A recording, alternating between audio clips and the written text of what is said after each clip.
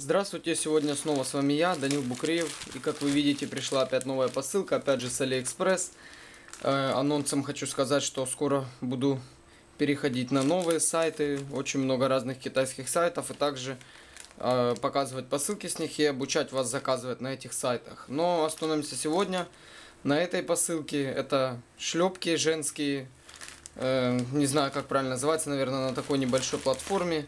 Ну, в общем, я начну открывать и буду рассказывать, стоили они 11 долларов, не самое дешевое, что можно найти на Алиэкспресс, но и не самые дорогие. То есть они должны быть э, более-менее качественные. То есть хорошего качества должны быть, потому что не самые дешевые. Вот, посылка шла 22 дня. Продавец, в принципе, отзывчивый, все нормально.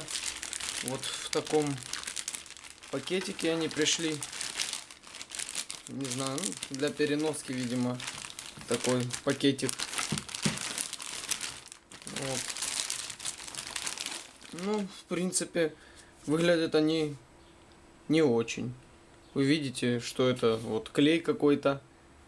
То есть ну, на картинке они были покрасивее. Какие-то они белесые. То есть они должны быть серые, без вот этих пятен вот клея на них. Ну, я немножечко, по крайней мере, относительно с картинкой разочарован. Вот сверху, вот да, вот здесь вот просто сверху красивые, тот цвет, который нужен. Все хорошо, мягенький, целенький, все. А вот здесь что это? Ну, мне это не понравилось. Белесые какие-то и еще клей так виден сильно. Ну, второй.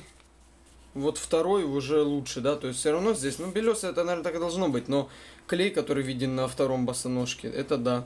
Еще дырочка уже на них. И здесь дырочка. А на этих здесь нет дырочки. Ну, в общем, вот такие вот шлепки.